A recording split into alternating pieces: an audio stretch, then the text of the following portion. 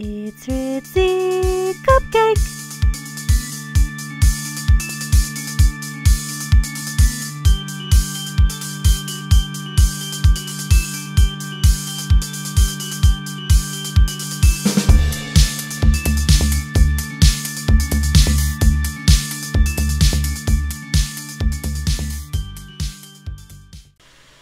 We are on our first family trip going to Melbourne.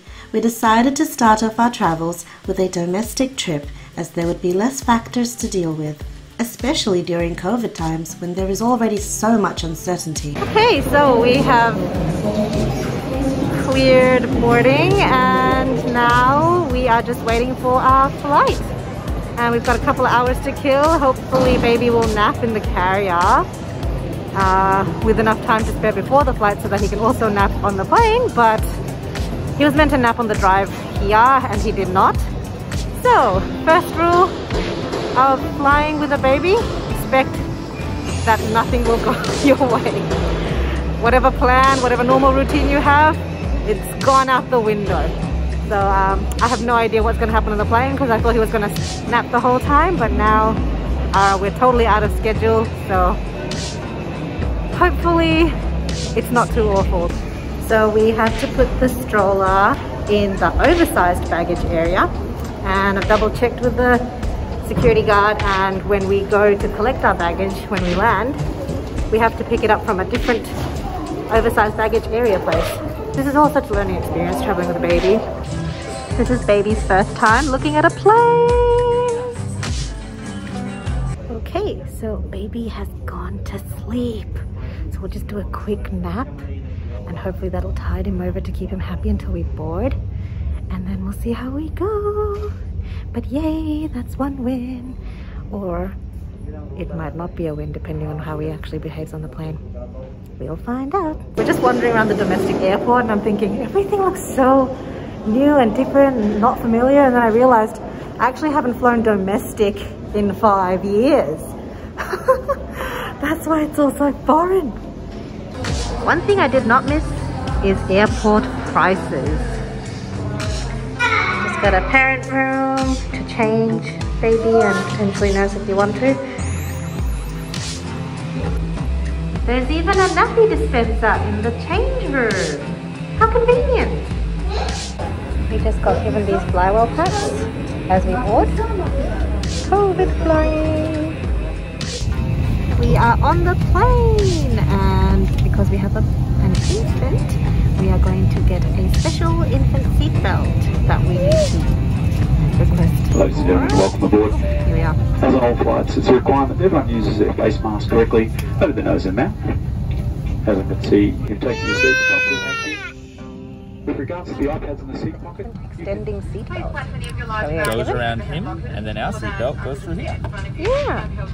And now we're taxiing to take off. Snacks are the holy grail of flying with a baby. Bub loves to wipe things down and it makes him feel very useful, so we get to kill two birds with one stone by keeping him occupied as well as getting the area clean. We got the cold food option so that we don't have to worry about baby getting burnt. And now he wants to touch the food. But yeah, so this is why we got the cold food option. So it's okay for him to touch it. There you go. yeah. Your baby finally falls asleep so you can watch a movie, but the iPads are broken and stuck on announcement in progress for the whole plane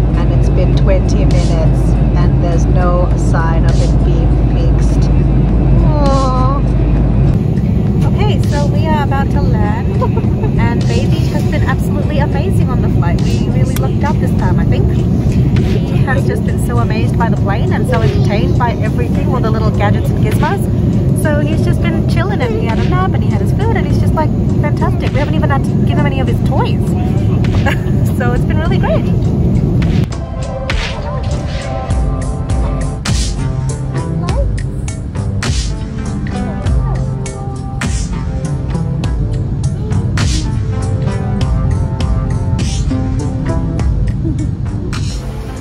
Okay, so we were just the last people to leave the plane because it was just so much easier to wait for everybody else to rush off and then take our time to get up. There's our friend. Just left the airport with our baggage and we are now in Melbourne. The flight was really good. Way better than I ever would have imagined. Baby really did us a solid there. This is our chauffeur car.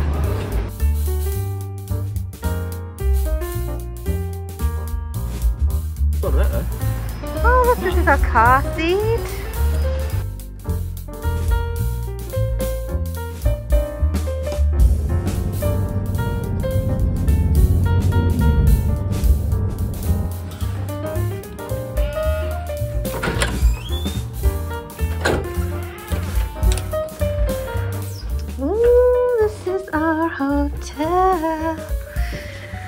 Okay.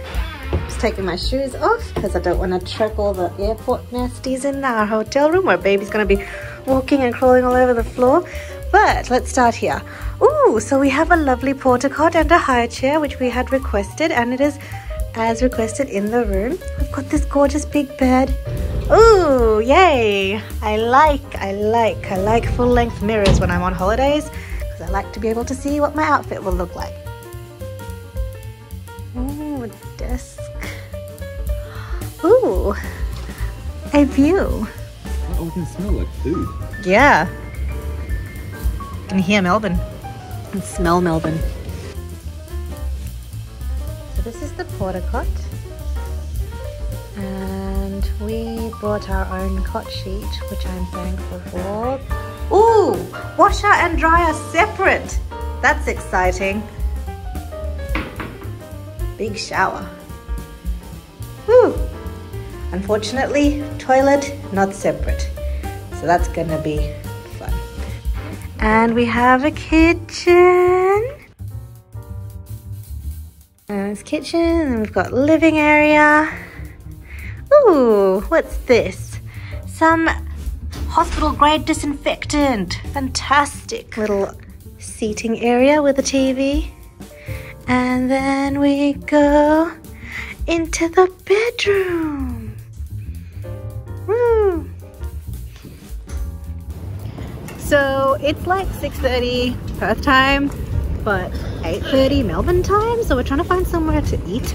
Subway was right next door, but they are actually closed, Shut at shockingly. 8.30. So Must have just locked the doors. we were gonna like take Subway back to the hotel room and just feed Bub his food, but now we see a Macca's straight ahead. Hopefully, surely they will be open and save us from not having any dinner. We have found Macca's. We are going to go to this Macca's. So we just went to McDonald's and got a book for a, with a Happy Meal that we're going to eat so that we can have a story for his bedtime.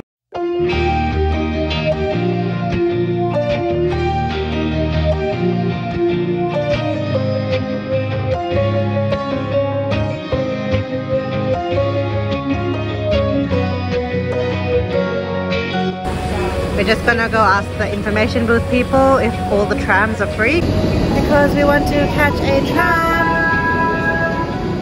potentially to the botanical gardens. So we want to see if it's free uh, or if we have to pay. And if we do have to pay, how do we get tickets? We got given this map. The free tram line is just around the city circle and it'll actually cost and you need to get a myki if you want to catch a tram all the way to the gardens or we can just go Most of the way and then walk. up to there where the X is and then walk. So we might do that. Trams are not tram friendly. But we just lifted his stroller on. All right, we just got off the tram. That was pretty successful. As we were getting off, a few people tried to help us with the bringing the stroller off the tram, so that was nice. But obviously we didn't need it because hubby is really strong. Aren't ya? Sure. And now we're just gonna walk to the botanical gardens and see what it's like over there. I haven't been in years. I don't think I've been since I was a child. So yeah, let's go check it out.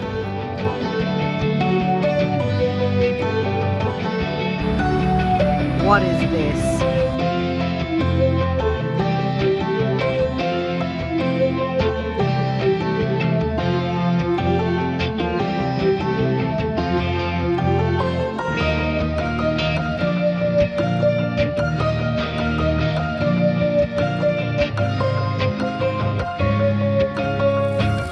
We're almost at the Botanical Gardens and I love how we've gone through like a few precursor parks to get to the main event park. That's really cool. So like you don't even have to walk in the road or anything. You just keep going through the parks and just have a whole day of parks and gardens. Fantastic.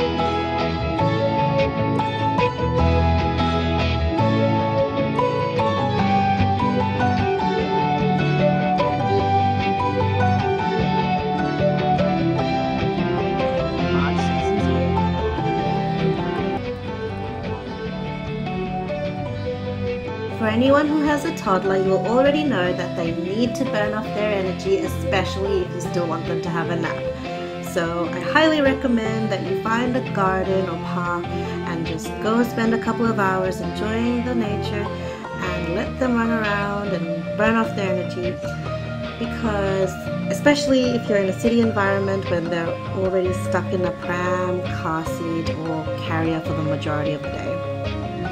Inside the children's garden and it's really made for kids because the trees are touching our heads.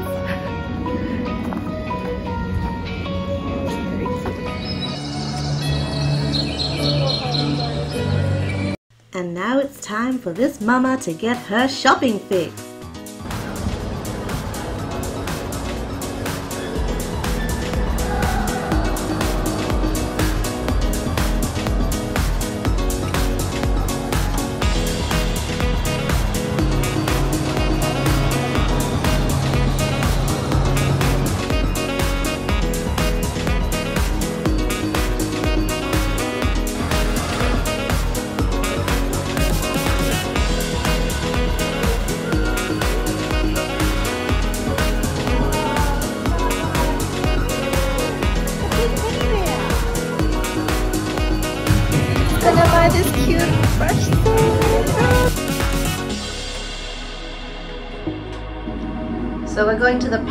Which is on level two. Unlike the shops back at home, where there's a toilet with a change room in every section, in every level, in Melbourne Central there's only one parent room in the whole mall, which is very inconvenient for people who are parents. The room, however, does have a lot of wow factor. If you are breastfeeding and are thinking about weaning before a trip, I highly recommend that you reconsider and try and wean after the trip as it is so super duper convenient to breastfeed while traveling. It's just whip out the boob and you're good to go.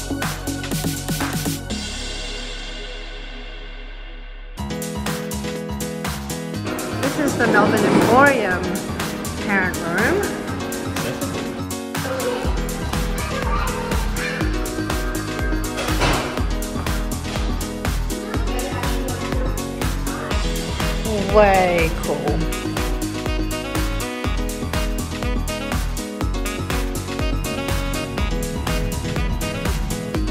I'm gonna get Bubba this one.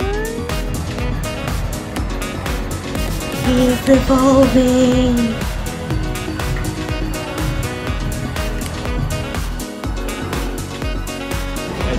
This is how we shop with a baby. We use the pram as the carrier for our goods. And it's raining now, which is not good. Yeah, almost.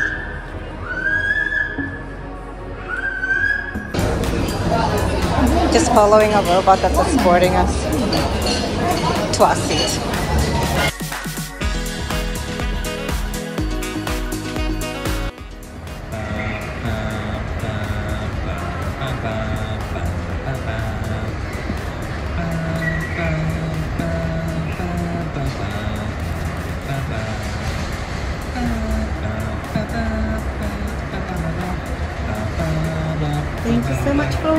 Don't forget to like and subscribe, and we'll see you next.